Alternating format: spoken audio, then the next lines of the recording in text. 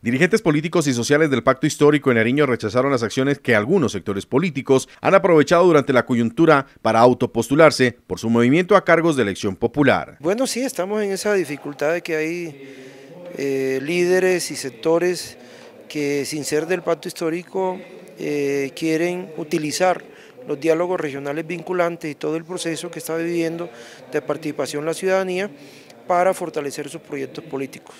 Eh, de todas las formas posibles decimos que no, que no estamos de acuerdo y estamos trabajando para que se respete este proceso como un, proceso de participación ciudadana. ¿Y esto los obliga?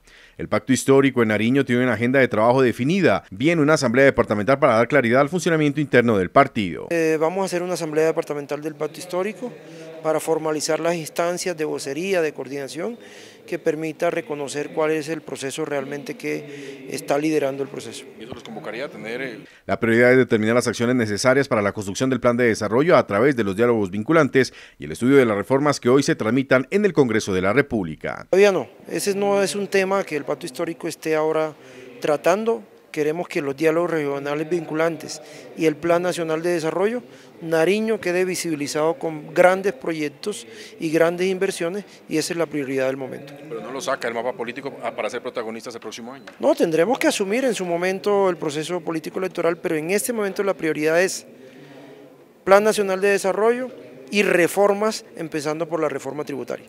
El reclamo se dio porque algunos sectores políticos llegados desde el Consejo de Pasto se han tomado sin consentimiento del partido la vocería para adelantar encuentros con la ciudadanía haciendo mención a los diálogos vinculantes, anunciando avales y supuestos apoyos con miras a las elecciones 2023.